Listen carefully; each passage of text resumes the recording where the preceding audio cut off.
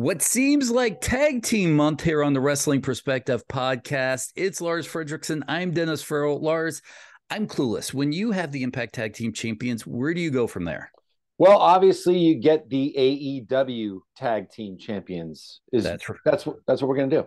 The Gunn Club coming up next, but before we get to the Gunn Club, let's knock out a few of your questions. We won't hit that many of them this week just because we're against the uh, trigger, the clock. Yeah, the clock, but we're going to get to as many as we can. Dan from Florida, Lars and Dennis, can you please settle a fight between me and my friend? I won't tell you our opinion this week. Can you please rank these wrestlers? And then I changed them just so we don't have any subliminal rankings in there from them. Malachi Black, Sammy Guevara, Swerve Strickland, Ricky Starks. Ricky Starks, Swerve Stick, Strickland, Malachi Black, and then whatever the last one was. Sammy Guevara. yeah. I agree at 100%. Now, I could see you guys flip flopping uh, Swerve and Ricky, but I think right now Ricky is on top of his game. And yeah, yeah, that's the thing. It's kind of like I would give I would give it to Swerve on number one just because I like his what he does and I like his mind for it. But Ricky Starks is just I mean we've had him as a guest obviously on this on this program and you know the confidence that he oozes, but there's like a great there's like a there's humility with that confidence which i really love about his personality as a human being. Uh there's there's there's no reason why he shouldn't be uh, uh in in contendership for the world heavyweight championship. I think he's two years away from being number one on that list. I mean he's right there. He just needs a little bit more from me. Almost grab it. Yes yes. Uh it's only a matter of time but we have a dewey from boston. Uh, oh. yeah I'm pretty excited for that one. In today's era in wrestling, in today's era of wrestling, what's more important, entrance music in the entrance, presentation, or in ring wrestling abilities? Well, that's a loaded question because I think you need all of them. But um, I would say, if anything, you need psychology. you need psychology and the ability to storytell, which I guess would be the in ring, you know, but that's also out ring too, you know. So um, I think that's one thing that needs that's that's it's kind of like, you know, if those other two things were mentioned in that question, that would be my answer. But I can't just say one of those things is more important than psychology or storytelling. It also depends on what promotion you're watching because I think the lower promotions rely more on wrestling ability than it does in ring or entrance music and whatnot well, because of budgets. See, that's where they go fucking wrong. It's like here's the fucking trip professional wrestling is about storytelling. It's about making me believe that you really hate somebody, which is part of the psychology. You can go in there and do 150 fucking flips. That might impress me for a second, but once I've seen it, I've seen it. I, I, agree. And but as far as WWE is concerned, I think it's really the music and presentation. I, I think the average WWE wrestling fan, the average, the one that doesn't know wrestling exists outside of that universe, doesn't care about in ring ability. Well, this is where I will say that I kind of agree and disagree with you because WWE is very much, if you watch Raw, you maybe get 20 minutes of wrestling the whole show. Okay. Which sucks. That's one of the reasons why I tune out more than I tune in. Uh, because I'm there to watch wrestling. They want to tell the story outside of the ring that's kind of what you know it's always promos it's always this it's always this it's always some stupid Miz TV show or something you know I, am over that shit. But uh they do try to emphasize the storytelling. Uh, Matthew Patrick wants to know you guys talk a lot about what you liked uh, growing up in different wrestling promotions. What was the best merch you ever bought as a kid? I don't uh, know if you even asked this one. no. You why don't you go ahead uh, you know, my folks were kind of poor, so we never really got a lot of merch when we went to a wrestling show. I think, you know, I I remember being 10 or 12 and for Christmas I got a WWE shirt from Santa Claus. Uh, I don't think I have ever gotten anything when I went to the WCW shows because we used to go to center stage all the time as Boy Scouts you know, I, it, it, this is going to be really embarrassing. I think the, I think the first merch I really bought was when I went to GCW and I got a GCW shirt because you know they were really cool letting me in, and I, I want to get back to the promotion. So I would go with my first real merch thing because my neighbor always got all the cool stuff, and I got to wear it off of him. So I'm gonna say my GCW shirt. Well, the first shirt that was ever purchased for me was a Four Horsemen shirt, and I have looked because I went to go see the Great American. Me and my friend Derek Calvo, his dad Tom, who was like my dad, uh, took us to go see the Great American Bash on tour. Uh, he bought me a Four Horsemen T-shirt, and I have since to this day cannot find that Four Horsemen T-shirt. It was very specific in the way it looked. Now people have tried to find this T-shirt for me to no avail.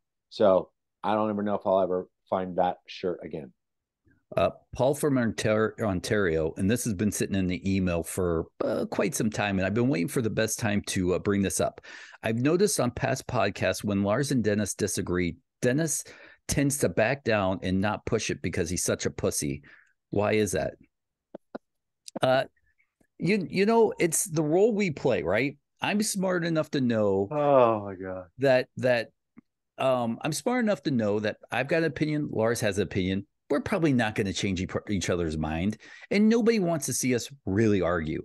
We're not accomplishing anything if we argue over a point of who's a better wrestler or why do you like this guy and not this guy. So my job's to listen to Lars. Your job's to shut up and listen to us. So well, but also I have to listen to you because, and a lot of people don't understand, and maybe they, maybe they do. But if if there's no Dennis Farrell, there's no Wrestling Perspective podcast. So with that being said, all your kudos, you know, that I'm giving to you. Now shut the fuck up and go on to the next question. Uh, I tell you what, just because you said that, we're not going to do any more questions. I I'm going to give a gift to the people because I'm a giver, and my gift to the people is the Gunn Club, Austin okay. and Colten. How about that? All right, that's fair. All right, way guys. way to stand up for yourself, D. Thanks. Uh, in just a second, the Gunn Club. Uh, hang out, and we'll be right back. Let's do it. Lars Frederiksen, it's time for the Gunn Club here on the Wrestling Perspective podcast. The Gunns. The Gunns. The Gunns. I, we I dropped am... the club once we dropped my dad. Oh, well, it's time, it's time for the Gunns here on the Wrestling Perspective. There we go. I see. I'm a fast learner, guys. I don't want to brag, despite what I mean, the yeah, that was quick about me. Yeah, that was real quick. Congratulations. Uh, it's that Georgia school system. I'm not going to want to brag too much about it, guys, but just trust me, it, you don't want to go to school there if you have to again. Um, but now that I'm done burying the South in their school system, uh, Austin Colten, thank you so much for making time. AEW Tag Team Champions. We're really excited to have you guys. What's going on? Thanks for having us. Yeah, and thanks for saying we are the tag champs. Well, no we problem. Are, you know, we we acknowledge greatness here on this podcast. I could tell. Somebody. I could tell. Hence why we ignore Dennis. Yeah, I'm not even here half the time. That's how awesome this show is. Uh, all right, listen, I'm going to jump back in uh, and start asking some questions because we have a limited time with you guys. And I've listened to a lot of interviews with you both, and I am super impressed with how quick you guys have risen in the wrestling industry. Uh, it's no secret who your dad is, it's no secret who you guys have been trained by. But we we talk a lot with younger guys about how there's no quality control in wrestling. And yet you guys come out and, kind of are a step ahead of everybody around your age and how long you've been in the industry. Eh, do you guys all right you're still young enough. Do you guys kind of understand how far ahead you are of everybody in about your age range um it took me about a it took me about six months to realize that uh, when you go into a class, I was really scared going into my first class because it's uh, going into the unknown. You're a second generation. You're getting trained by Billy Gunn, and being in the ring, people expect you to be great right away. Um, and uh, I was pretty nervous on my first day of training. But then six months into it, I started realizing that I was kind of bypassing my students that I was in the ring with, and then I was I was just picking it up really quick, like you are. Um, I had the Florida educational system, so I I learn even quicker than you. So um, just being a second generation, being around it my entire life, learning from dad, learning from the other coaches that I was able to be around and surround myself with, asking them questions 24 7. It just came natural. And then when Colten came into it, um, I'm sure he has a different experience, but that was my experience. I just, I started catching on and you couldn't stop me. Yeah. And I, um, yeah, I've only been doing this for two years. You know, me and Austin have been, you know, on our own for six months or so, like a year without my dad. But um, yeah, kind of the same deal. Once I went to school, I was like picking it up a little faster than everyone, and that's just subconsciously having your dad, you know, watching him growing up, and then realizing, you know, once I was in AEW, like six months in or something, I'm wrestling Sting with my dad, you know, and that's not something that happens. It usually takes five years to get to the stage we're at, whereas it took me 12 weeks to get to AEW, and now we're the tag champs two years in. So it's crazy, but I mean, I hold myself to a really high standard, and I came into this later than my brother, who's younger than me, which is really weird. And I just took it as like I have to catch up. So I would train every single day. I'd go to I'd ride to Jacksonville with them and then go back early on Thursday just to get to class for extra work because I knew I had to catch up and knew I had to get to that level. And it hasn't stopped since then. Like I still once we get off the road, we still go train. Like it doesn't stop. We're the hardest working people there is. And you know, that has paid off. We're the champs. So and we only started with seven bucks in our pocket. Yeah. I've been there. Um, well, you know, my I guess my question for me for for you guys being brothers, you know, second generation. We've had a lot of, you know, obviously second generation wrestlers, fourth generation wrestlers. Shit, so many of them on this program. As a father myself, and being a musician, you know what I mean. Everybody sort of expects one of these kids to be musical, and they both are, but that's not their life choice, their or their life path. Training with your dad I mean, is is he harder to to li- to listen to in a lot of ways? Meaning, you know, taking advice from him is what was that easier or harder for you uh, individually? Um, I think me and Colten learn in different ways. As uh, I, I came up in football and lacrosse, and I like to be yelled at, and I like to be. Um, uh, when my dad used to yell at me in the ring and beat me up, it was more of like, uh, "Okay, I'll show you how to do it." Like I'll show you that I'm capable of doing this. Like, oh, I made that mistake. Oh, watch this. I'm not going to make it ever again. So it was more like a uh, me proving to him um, that I really wanted it because I came straight out of college and he said that we, me and Colten had to get a degree first before we even tried this. So when I went in the day after I graduated, it was kind of like it was me proving to him that I really wanted to be there. So um, I think just yeah, it's just uh, yeah, that's it. It's just I like yeah, to I be think, yelled uh, at and stuff like that. Yeah, when you ask if it's hard to listen to my dad, it's not because he's been there, done that. He's a Hall of Famer, so like who better to listen to? And he knows exactly like Austin said how to push your buttons. So Austin is like yell at, whereas I'm just uh, more of like explain to me why that was wrong, and then I'll go do it right the next time. And uh, like backstage when we're putting our matches together and everything like that like he uh he helps and we listen to him. Like i'm i'm a big proponent of it. if you've been there and done that i'm gonna listen to what you say. And my but, dad has and he's your dad so. Yeah but sometimes the funny thing was when we were working with him and we were we would me and colten wanted to venture out our own and try our new ideas out there um, it's kind of hard to listen to him sometimes when he said some something won't work because as young up and comers we want to try new things. We want to see if something will work and he usually explains why it won't work, but he always gives us the freedom to do it. He goes, Hey, listen, I'm just going to show you or explain to you why this might not work, but you can go out and do whatever you want. So sometimes we would get upset uh, with ourselves because, like, man, we really want to try that out there, but dad says it's not going to work. So there were times where we went out there and failed and learned from it and said, "Oh, dad was right." And there's times when we went out there maybe maybe it wasn't the best choice, but we're all working together and trying to make the best product. So it's hard to listen to him sometimes in that aspect. Yeah, right. and maybe well, uh yeah, I was just gonna say maybe not listening to him is the way because he's not with us right now and we won the tag team titles. So yeah. Oops. Maybe we know better. well, you don't. But um no, I'm just kidding. But no, do I you have the AW tag straps? Uh no, but I can probably go buy them if you want me yeah. to. I'll show up show up to the next one. Um, I'm on Etsy right now. Gonna get them.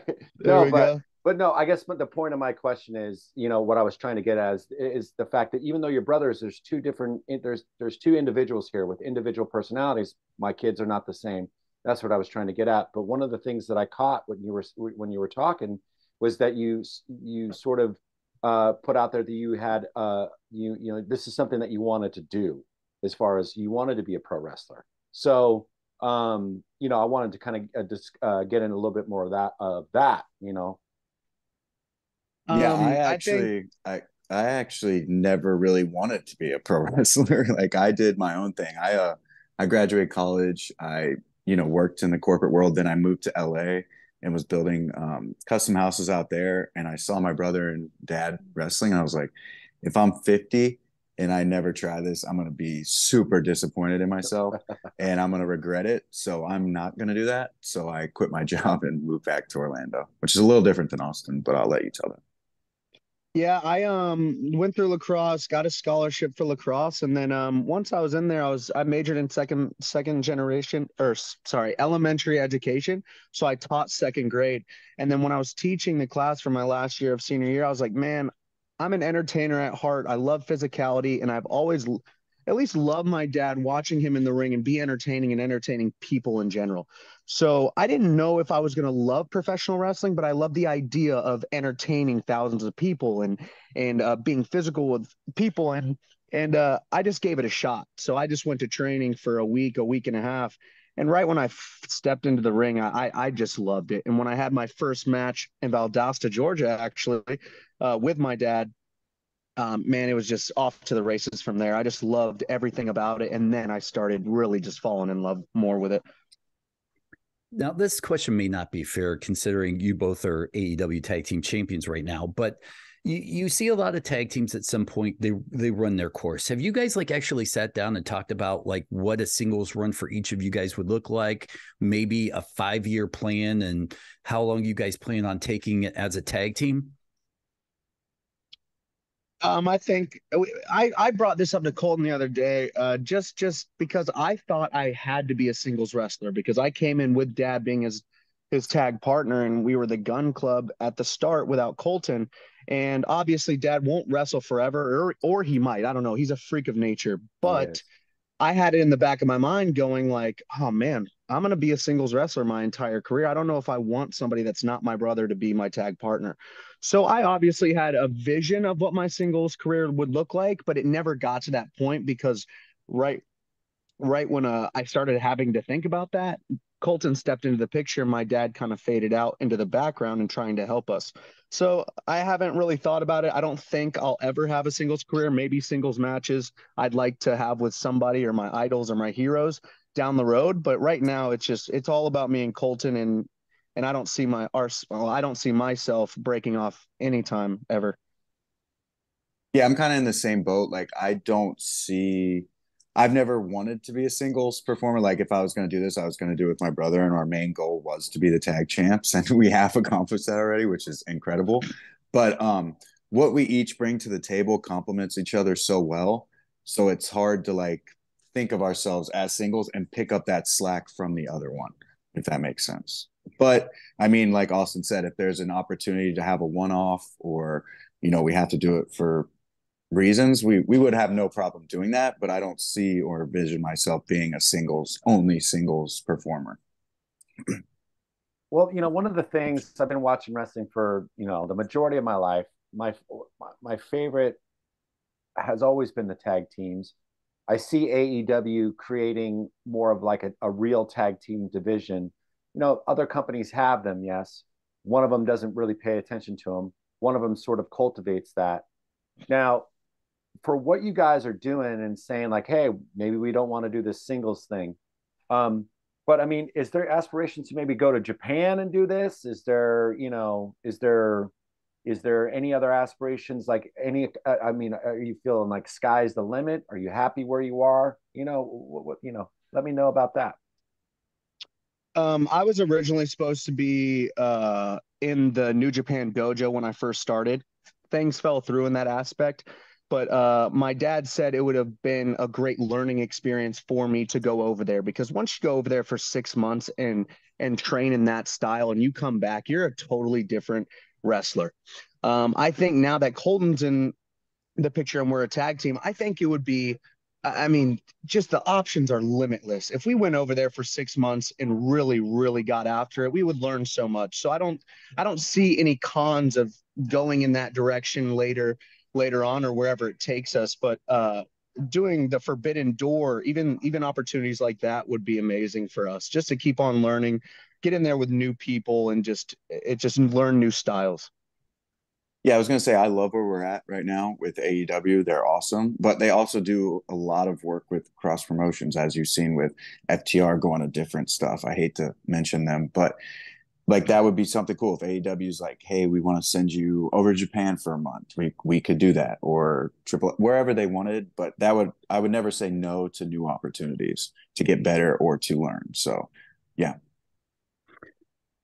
So, once again, being a young tag team in this industry, and I, we had another tag team on last week, and we asked them kind of the same question. You guys are so young. Are you I guess young enough where you don't quite realize how much pressure you're under holding the the straps for a major company right now or maybe is it worse being younger and and knowing you're holding the straps for a major company right now? I love the pressure man. I've been getting this ever since I was a kid thinking about going into wrestling. It's everybody always doubts you. Everybody always does my own friends, high school friends, high school people passing me in the hallway, college buddies. Every time I mentioned that this is what I wanted to do as a profession, and then people in the industry knowing that I was second generation and fans then seeing me trying to get in this business, ever since day one, people have put an X on on my name, like, oh, you don't try hard, you just got this position because of who your daddy is. But that's why me and Colten work so hard at this. That's why we are so crisp. That's why we learn fast. That's why we pay attention. Ask the vets in the back. We are constantly learning. We are not shy to grow and develop. I mean, we are learning live on TV, and I don't think anybody else could handle that pressure. Being a second generation, learning live on TV and being thrown in the deep end constantly, but constantly swimming. I say it all the time. It's like we're doing live promos on just on the fly on live TV. We're facing the old tag team champs Jurassic Express live on TV as our first um, tag team match on TV. It's like we are constantly, constantly under pressure. So at this point, it's honestly just it's honestly just normal to us to be surrounded by this much pressure. It's almost when we're not feeling pressure, which is very rare, it's like it's like what is going on? I love the pressure. Yeah, to just to add to that, I mean that's the good answer, but like we're constantly, especially being second generation, second generation, we're constantly on the microscope with all the fans. All they want us to do is to see us fail. It's like, see, I told you. So everyone can say, I told you so. They failed, but we never do. And if without that pressure, I don't know if we would have that. But being thrown, like Austin said, our first tag match, me and Austin's first tag match on TV was for the titles in the main event of Rampage against Jurassic Express. And it was a great match our live promo. We'll go three minutes and just do a funeral for FTR. For like everyone had this opportunity to do all this stuff on the indies or everything, and we're doing it in front of a million people, and we're doing it very well. And I don't think without the pressure we could. So we thrive under the pressure, and we feel it for sure, but we don't let it affect our work. If anything, it makes us better. Well, you know, being second generation wrestlers, I know that there's obviously other pressures because, you know, like you both have been saying, they want you to be your dad or they want you to do this or or whatever it is right? So the, that's a whole other thing that a lot of wrestlers won't understand. Do you ever confide or do you have friends who are also second generation wrestlers that you because i mean obviously that that would be one major connection. Do you communicate with with any other second generation third generation wrestlers who have been in your position you know? Um, I keep in contact with Dominik Mysterio. Uh, I keep in contact with a lot of second generation from our own company, Brock Anderson, and it's kind of just like you, I don't know if you, you don't ask them for advice. You don't ask them, hey, I know you've been here before. It's kind of like this. It's honestly like you just step back and see each one kind of growing into their own. And I mean, Dominik Mysterio is on fire right now. And it's cool to step back and see how he's approaching his uh, wrestling career and how we're approaching our wrestling career and how Brock Anderson is approaching his career.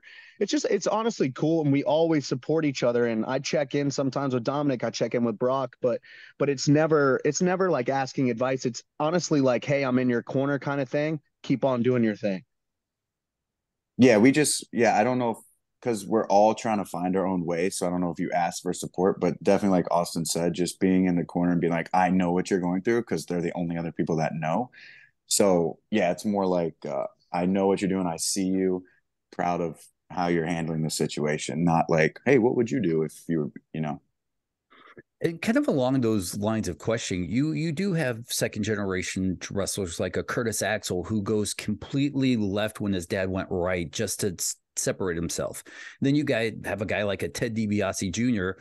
who somewhat follows in his dad's footsteps, a Cody Rhodes who follows in his dad's footsteps. When you guys are putting together a plan of being a tag team, brother tag team, do you guys sit down and go, well, we want to be like our father or F that, how do we be our own people? Is there a, a mindset behind how you guys approach that? I mean, my dad is one of the greatest tag team wrestlers of all time. Absolutely. He's 11 time tag champion. So, and we're his son. So, obviously, we're going to get a little bit from him, but we can't try to be something we're not and be exactly him. Like, we each have our own features and we each do do certain things well. So, we have to dive into those. So me saying, okay, I'm gonna start wrestling, I'm gonna do exactly what my dad did, it's not gonna work. The fans are gonna see right through that and be like, well, he's just trying to be a carbon copy. But in terms of picking up psychology or things like that that did work, that my dad did, we'll pick up on that. But as far as trying to be exactly that, no. If that makes sense. Yeah, I, I think it's hard for me uh, to not act like him because me and him have the same personality. So m- my movements in the ring, my my my personality in the ring, is just me being me. It just so happens I, I get it from my dad. So um, Colten had a that was a great answer. I support that and uh, second that. It's just it would be hard for me not to act like myself instead of trying to copy Billy. Do you think it, there's sort of a disservice for for younger wrestlers that like I mean because you guys have been describing your experience that you're thrown straight into TV in these high pressure uh, you know environments. I know that that you've obviously um, overcome those things and you enjoy that. But do you think there's a disservice for other wrestlers coming up, not by not getting opportunities um, to work their craft on like on independent uh, circuits? Because it seems like there's a fast track now because there is so much. Uh, there's an a copious amount of wrestling now to be consumed. You know, so many different promotions, and so your trajectory, you know, where you go, you get there quicker.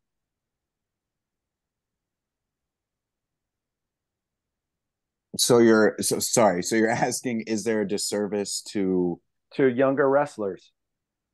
Um, the, I don't know. Austin, what do you think? Yeah, I have no idea to be honest. okay, that's fair. Well, I, am going to jump in and I'm going to ask this question. And this is kind of a fan favorite question and a favorite of the podcast. When did you guys know they were going to give you the belts? Is there a cool story behind how you were told? Did you kind of always knew this was where it was going? Was it a surprise? I mean, we went out and just beat the acclaimed. I mean, that's how we got the titles. and my dad tried to stop it, and we hit him too. And we weren't going to let anybody stop us from getting those. So we beat the acclaimed, the uh, people's choice, the people's favorite and they said the forever champs, but obviously not because we're better than them. That's right. my answer. No, no, great answer. Lars? I was waiting for uh, the other one to answer if you wanted to. I second that. There was nothing stopping us that night from walking out of that building with the with the straps. Well, let me ask you this then. You're standing in the ring, young guys, the tag team division on your back, you're holding up the belts, is there a moment between you guys? What do you say to each other in that moment of celebrating? Hey, uh, you know, our our our very short careers. Here we are at the top of the mountain. Is there a moment in that ring that you can share with us that you guys had? Man, I'll just say this. It's a I think it's a very different feeling when the people are rooting for you. When the people are rooting for you and you have an underdog story and you work hard and the fans are behind you and you win the titles and everybody stands up and cheers. I think that's a different experience. We did not get that experience. We got the total opposite. When the fans are, when the fans hate you and want anything but for you guys to win the AEW Tag Team Championships, and then one, two, three from the referee, and you hold your hand up and you look at Colten, and he's the only one in the arena happy for you, and you look around and everybody's in shock and flicking you off and and screaming profanity at you and almost coming over the barricade. It's like it's a different feeling. So it wasn't uh oh my gosh, we finally did it. It was uh I mean part of my French, it was F F you guys. We told you. We told you from day one this was going to happen. We told you we were going to beat the acclaim. We told you we were going to beat dad. We told you this was going to happen.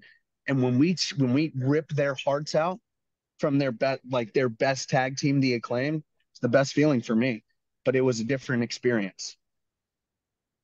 Yeah, and when we got that one, two, three, and I just we won, and Austin's just covering Bowens. I was like, "We did it! We got them all! We sucked the air right out of this building." I hate every single one of you. Me and my brother, the only people that believed in each other, and we were standing on that ramp. I mean, it didn't even hit me until like a couple days later that we were the tag champs. Like, but we did it, and we proved everyone wrong that we weren't. You know, we did it.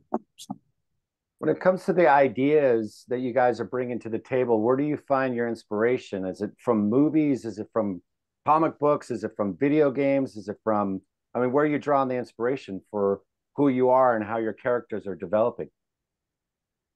I like to i like to be the kind of the designer of our team. Um, so i um, i like to draw some inspiration from Shawn Michaels. I think that's my personally personality inside the ring um, so when it comes to gear, I love putting together our gear. That's my inspiration uh, with the zebra and just flamboyant colors or just looking badass. It's like that's what I take care of.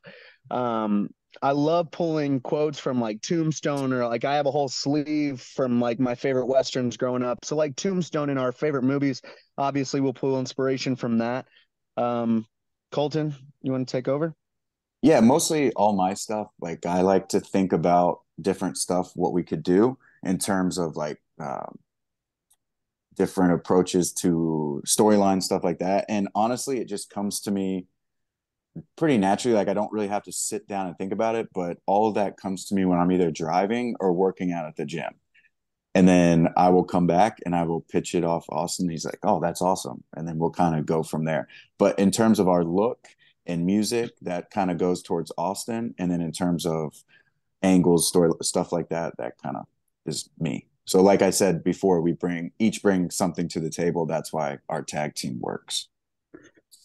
Colten, this might be a stretch of a question, but uh, mm-hmm. I listened to an interview, a couple interviews, and you were talking about your construction work days. And mm-hmm. my memory's a little foggy, so uh, pardon this, but I think yeah. it was Breeze or Fandango, Breeze or Fandango that uh, helped train you at one point, right? Or you went in and did some wrestling with one of the two?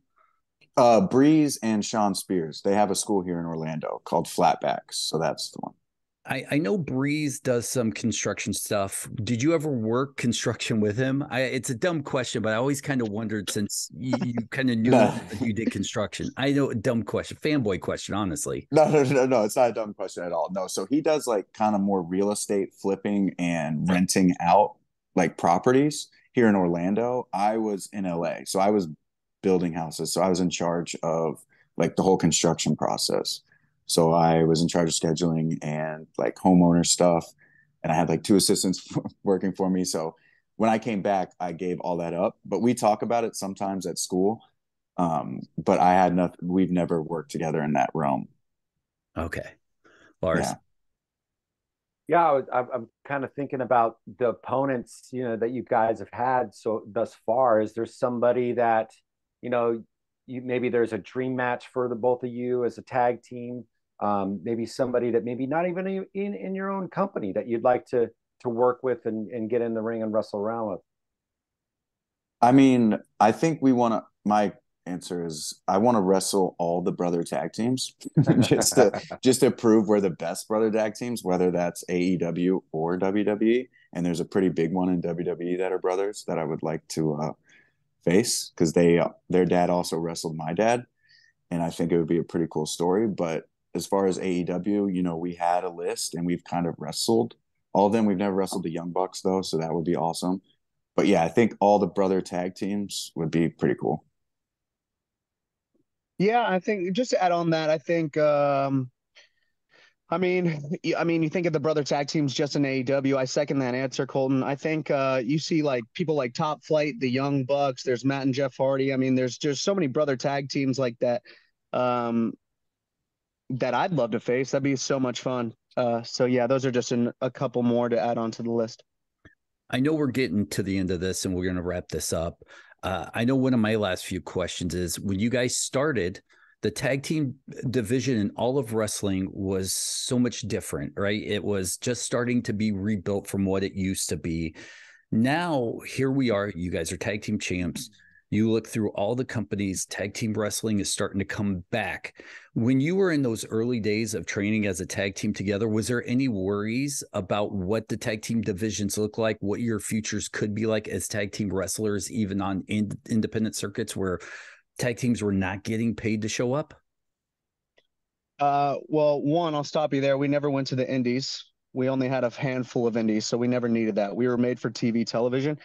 Um, so me and Colten, my only focus was to have fun and to continue to continue learning. And then when it started getting a little more competitive, and Colten started catching on, and then Colten got signed, and me and him were together. I think right right before we had the Jurassic Express match, I think that's when we started going. All right, are you caught up? All right, I'm caught up. All right, let, let's start putting our like toes in the sand and start digging after this. So I don't think it ever became like a, oh my gosh, how are we going to fit in? Because we always knew we'd get to this point. Um, but but it, it just at a certain point you start going, all right, all right, now I know where we fit in here. Let's start let's start ramping this up a little bit. And yeah, and I also think it's, you know, it might sound cocky or egotistical or something, but if tag team wrestling wasn't featured, like you're saying, you're worried that, you know, companies aren't going to promote it. Well, me and Austin are going to be so good, you can't ignore it. Right. And you're going to, you're going to have to put us on TV as a tag team because that's how good we are. So I don't think that's ever been a worry like, oh, if they don't start pushing tag team wrestling, where do we go? No, they're going to push it because we are here. Well, Colten and Austin, thanks you guys so much for your time, taking time out of your day. I'm finally glad we got to make this happen. As far as the social media, where can people find you both? Um, at the- I, go ahead. I'm at the Austin Gunn on Instagram and Twitter. I think I'm Colten Gunn on Twitter and the Colten Gunn on Instagram. The Gunns AEW Tag Team Champions, guys, so much. Thank you so much for hanging out with us. We uh, truly appreciate it. For everybody, the show's over. We'll say our goodbyes off the air. Lars Frederiksen, Dennis Farrell, The Gunns. We'll talk to you guys all later. Thank you. Thank you so much.